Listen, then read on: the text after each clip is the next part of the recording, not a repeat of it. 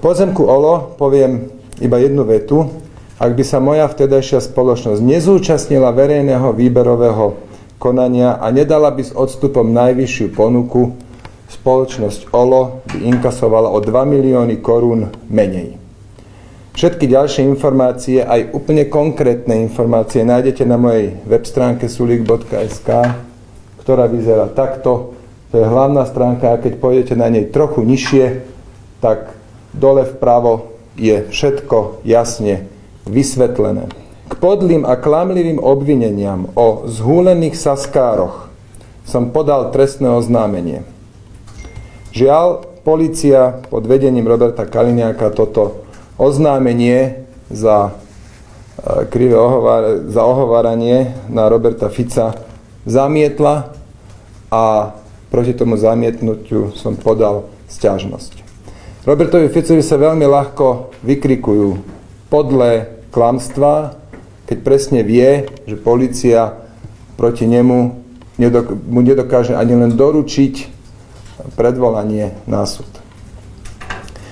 Okrem toho, že sa teda cíti Robert Fico v takýchto veciach beztrestný, eh, beztrestný, považujem to za naozaj nie hodné premiéra, že takéto veci vykrikuje. Gukočnerovi by som chcel uviesť. Áno, v minulosti som sa s týmto pánom stretával, to som olutoval.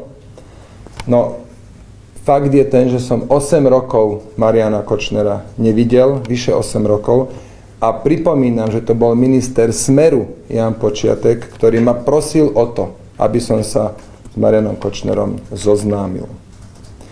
Ako vidíte, dámy a páni, nemám žiaden problém akékoľvek obvinenie vysvetliť alebo vyvrátiť, prípadne sa ospravedlniť. Robím to tak, odkedy ma poznáte. A za tieto roky veľmi dobre viete, že nemám čo skrývať.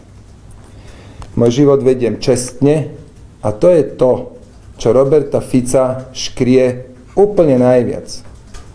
Lebo zatiaľ, čo on zháňal peniaze vlastnou hlavou, ja som sa živil vlastnou prácou.